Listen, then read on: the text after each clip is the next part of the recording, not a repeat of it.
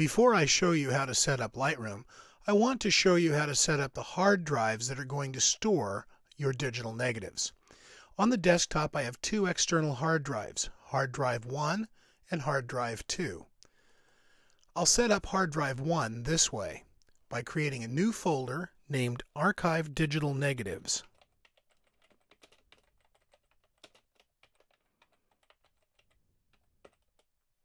I'll make another new folder and call it raw files to be archived.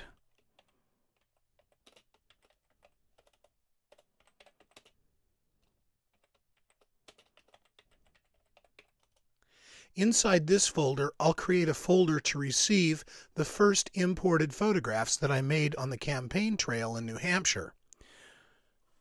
This folder will be titled 0001 Hillary Clinton.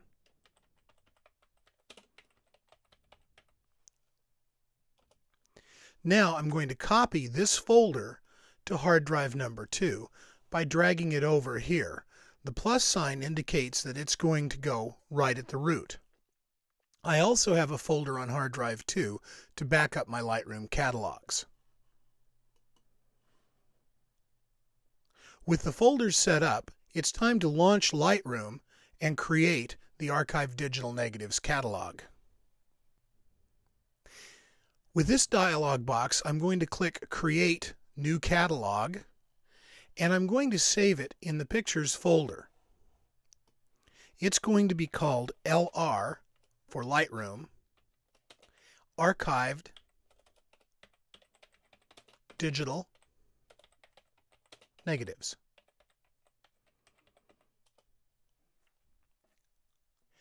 As soon as the catalog is created, at the top of the header, it shows you which catalog is open. The first thing we want to do is set up the identity plate. The default identity plate indicates that this is Adobe Photoshop Lightroom version 1.3. From the Lightroom menu on the Mac, the Edit menu on Windows, choose Identity Plate Setup. Click Enable Identity Plate and change the name to Archive Digital Negatives.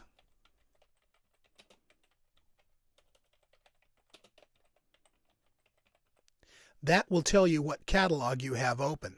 Highlight Archive Digital Negatives and change the typeface to something a little less florid than uh, Zapfino. I'll use Gill Sans. I'll also choose it as the typeface for the library developed slideshow print and web module pickers from this drop-down menu. Next, save the identity plate as Archive Digital Negatives.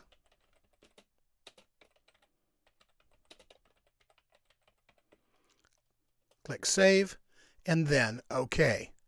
Archive Digital Negatives now appears opposite the module picker. The next setup is from the File menu. Choose Catalog Settings and Metadata. Click automatically write changes into XMP. This setting tells Lightroom to export any changes you make to a photograph to the XMP sidecar files that can be read in Bridge, Camera Raw, and Photoshop. Under the General heading, the backup settings are very important. The default is once a week upon starting Lightroom. This is great unless you're doing a tremendous amount of addition of metadata or if you're changing the settings to a lot of files. Then you'll want to back up at least once a day or every time Lightroom starts. For now, we'll leave it at the default. The final setting in this section is the Relaunch and Optimize button that helps if the catalog you have gets really, really big and starts bogging down. Clicking this will relaunch Lightroom and optimize the catalog. Sometimes if the catalog is really big, it may take a while.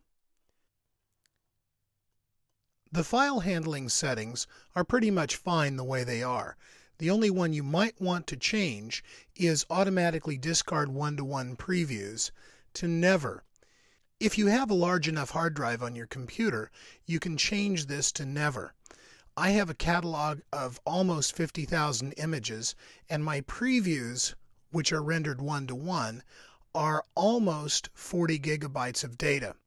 Having the one to one previews available speeds up the screen redraw. If this isn't important to you, you can change this to after 30 days or even after one day to save hard drive space. Finally, close the Catalog Settings dialog.